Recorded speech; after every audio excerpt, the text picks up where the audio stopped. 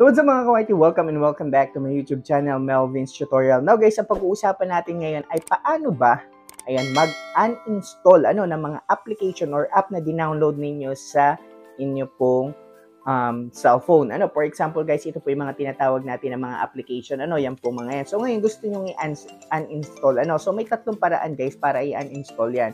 So first guys, ang kailangan nyo pumunta ay pwede po kayong pumunta sa inyong pong phone setting. Ano, for example, punta kayo sa inyong phone setting. Ayan, hanapin nyo dito po yung application list. Ano, ito po, ano, puntahan nyo ito. Ayan, click nyo yan. Pagka-click niyo punta kayo guys dito sa app management. Ano, makikita niyo dyan sa taas.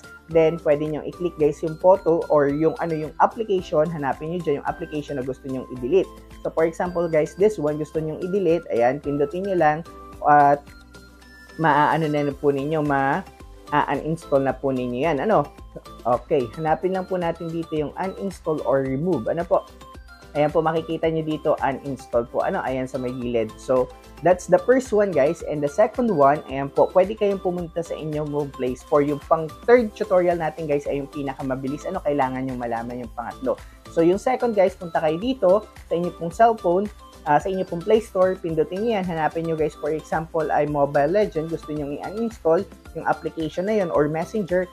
Open nyo lang yan, then uninstall po ninyo. Ano, nakasulat dyan. Yan po yung pangalawa. At yung pinakamabilis guys, ano na pwede nyo gawin para makapag-uninstall kayo ng Messenger or ng application sa inyo pong cellphone ay ganito lang po. Hanapin nyo guys yung application na gusto nyo. For example guys, ditong blur photo gusto ko tanggalin or for example guys, itong Facebook. Ano? So ang gagawin ko lang, pipindutin ko lang na matagal yung application then lalabas dyan uninstall. Ganun lang kabilis guys. Ano? So that's our tutorial and see you around. God bless you.